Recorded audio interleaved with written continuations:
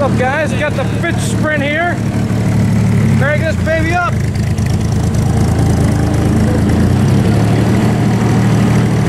Gotta love it. Corvair 140, four primary carburetors.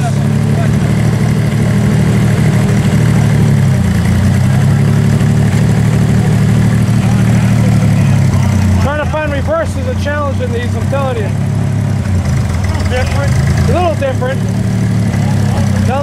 Stock motor.